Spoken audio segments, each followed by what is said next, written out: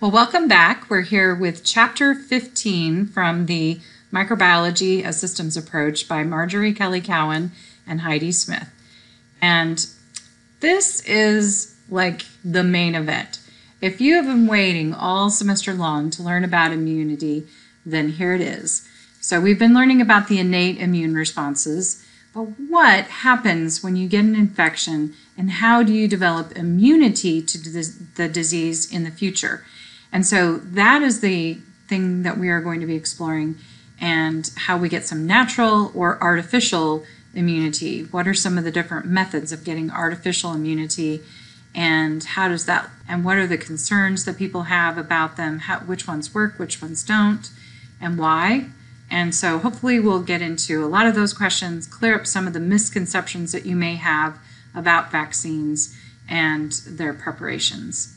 So without further ado, chapter 15.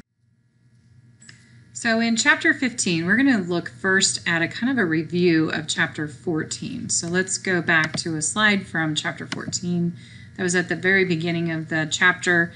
And it shows, again, just kind of an overview of the immune system. So you can see the host defenses are divided into the innate, nonspecific, and the acquired specific immunity. And the first line of defense, you have the barriers. These are the physical and chemical and microbial barriers. Then you have the second line of defense, and these are the cells and the chemical systems that come into play immediately if they get past the surface barriers, the first line of defense. And so those barriers, if they get past the first line of defense barriers. And both of these are innate, you're born with them, and they are non-specific, which means that they are going to be something that does not depend on the particular antigen. You don't have to have been exposed to the antigen previously for this to be detected as foreign, and then you can fight it off. And so it's non-specific defenses. Then we have the acquired specific defenses, and that is the focus here of chapter 15. And this includes the specific host defenses that must be developed uniquely for each microbe through the action of specialized white blood cells. And boy, howdy, are there a lot of specialized white blood cells. And, and really, these are the ones that are the lymphocytes. So, anytime we say lymphocyte, you should remember this is a third line of defense. So, the third line of defense, the B cells and T cells are primarily involved here, and they do have the specific immunity but you can see that there are some subsets of the T cells, the natural killer T and the gamma delta T cells. And uh, we're going to be learning how they are sort of this bridge between the second and third line of defense as well. But they respond non specifically, even though they are a lymphocyte. So they are kind of that, um, oh, black sheep of the family, and they don't do like, they don't work similar, they don't work the same as the B cells and the T cells. Not exactly, but they, they are a lymphocyte lineage, and so they are part of this third line of defense, this acquired specific immunity. So here are some of the learning outcomes we're going to look at. Um, describe the third line of defense and how it's different from the other host defenses. List the four stages of the specific immune response, the four major functions of the immune system markers, define a role of major histocompatibility complex and the three classes of MHC genes, compare and contrast the process of antigen recognition in B cells and T cells. It's a lot. But Let's start with what is the acquired specific immunity. So this is the product of the B and the T lymphocytes. The lymphocytes undergo a selective process that specializes them for acting only for one on one specific antigen. So they only react to this one antigen or immunogen.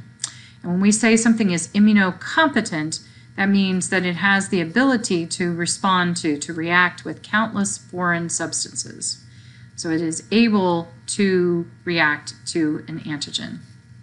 So what is an antigen? An antigen or immunogen is also the name for this because it produces or generates an immune response. And I really like to break these words down. So let's look at that real closely again. Immuno referring to the immune response and gens, which means that it generates or produces. So, any chemical substance that can stimulate a response by B and T cells. So, any chemical that can generate an immune response, that is an antigen. And so, proteins or polysaccharides on or inside cells or viruses are typically what we're looking at. An antigen is usually protein, like protein is really dense, polysaccharides are really long, and so they have to be big and they have to be foreign. And we're going to talk about this later, but they have to be foreign to the body because if they're not foreign, our immune system has learned to tolerate them. And they have to be complex. So something that's just like repeating subunits typically is not going to be identified, even if it's really big, even if it's foreign, if it's very, if it's not complex, sometimes it doesn't produce a really good immune response. So any exposed or released protein or polysaccharide is a potential antigen. Um, and again, usually our own immune, our own antigens, our self antigens, as they are called, do not evoke an immune response. So they are not immunogenic. They are not an antigen. So the characteristics of the the specific immunity, the the two big things that are interesting, and I would say there's really like a third thing here, and that is spe- they're specific. So specificity, they're highly specific to the antigen in against which the third line of defense is directed. So they only attack or only respond to one particular antigen, and and that antigen is probably just like four or five amino acids long if it's a protein. So it's a really small portion of the protein. It's not the whole protein that the, the immune cells are responding to. There are also there there is this memory, and so there's a rapid mobilization of the lymphocytes that have been programmed to recall their first engagement with the in- invader and rush to attack it again. And so the first time you, you your body responds to it very slowly. There is this lag time but the second time, you have memory of the event. And so it is going to be very quickly acting and um, it is going to take it out. It's going to take out that microbe before you even have any kind of symptoms, before it can spread. And so that is a beautiful thing.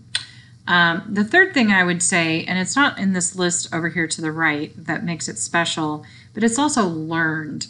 So you it gets better over time you learn, the immune system learns, and it becomes better at defending your body against that particular antigen. So, specificity, it's also very diverse. So, there are a lot of different antigens out there, and our immune system, surprisingly, there's not any antigen out there that we can't respond to.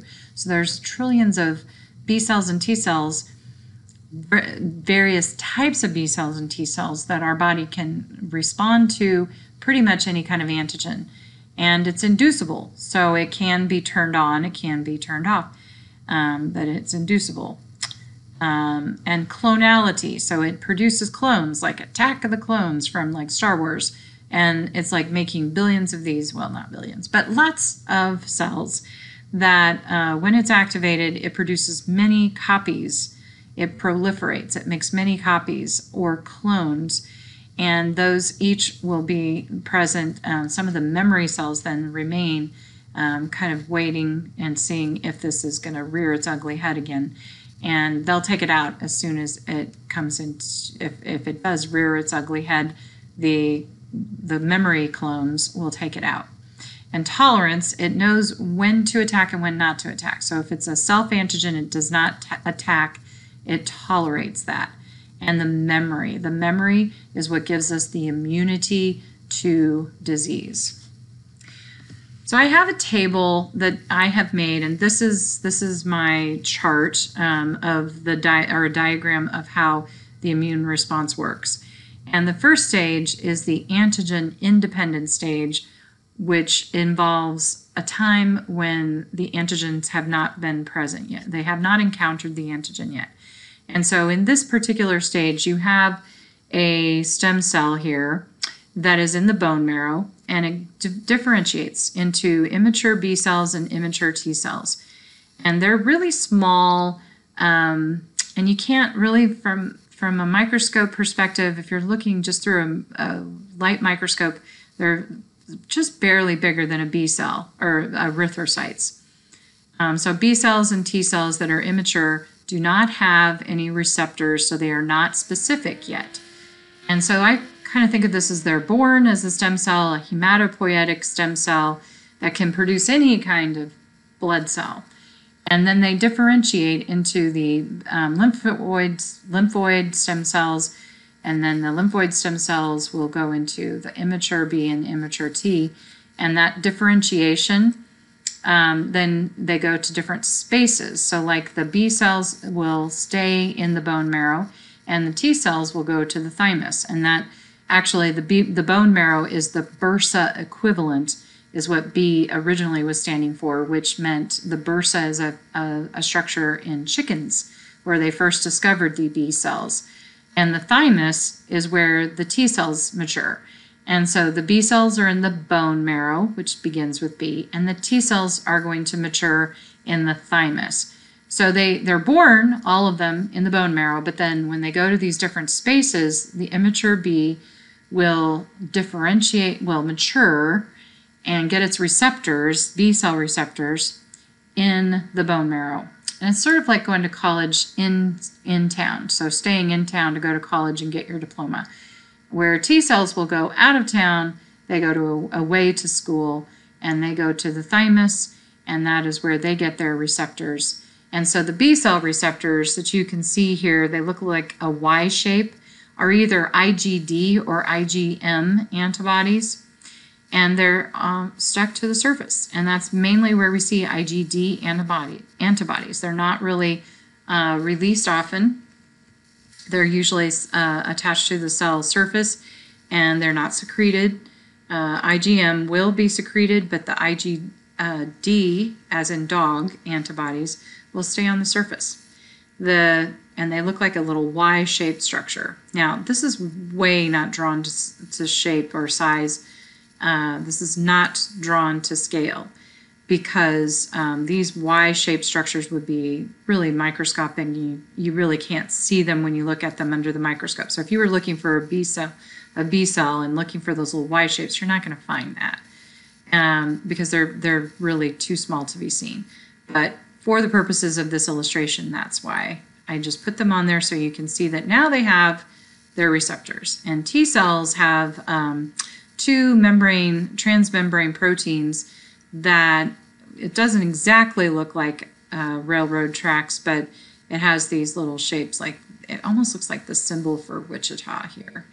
Um, the Wichita flag, you know, reminds me of that. But in any case, they have two membrane, transmembrane proteins that um, will receive the antigen and will then activate. So uh, the mature T cells go to the medulla area and the cortex, the B cells will go to the cortical region, and actually they're really in a follicle. Um, so the follicular and um, medulla area is more centralized and it's like interior to the cortical region, but we just call it the cortex, which is kind of like the outside and the medulla, sort of like the rind is the cortex of an orange. So cortex, medulla. The fleshy part is the medulla. And you see many organs like this. You see the kidneys are like this, and they also see you see this in the spleen and the lymph node. And uh, the adrenal gland has an adrenal cortex, and then it has an med- adrenal medulla.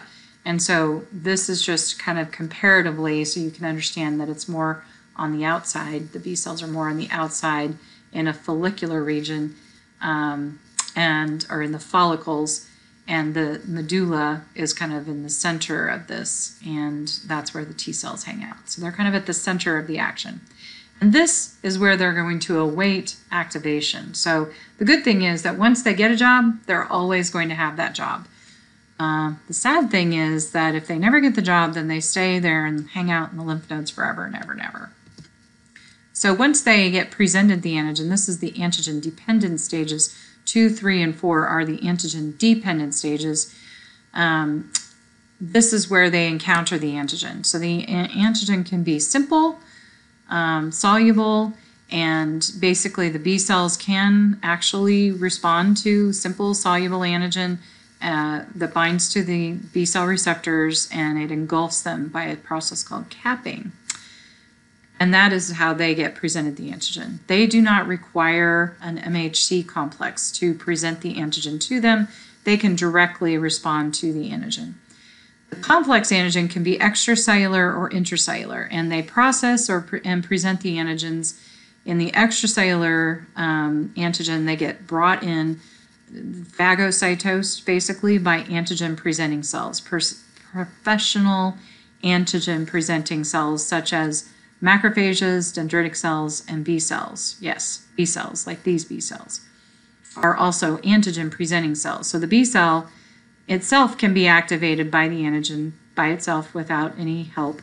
But the T cells, they must be presented the antigen. And so this uh, antigen presenting cells are three types of non-specific immune cells that present the antigen, and they do so in an MHC2 molecule to a CD4 receptor. But they could also have an MHC1 complex on them because they are a self cell. So the MHC molecules, MHC1 is the type of marker on all nucleated cells.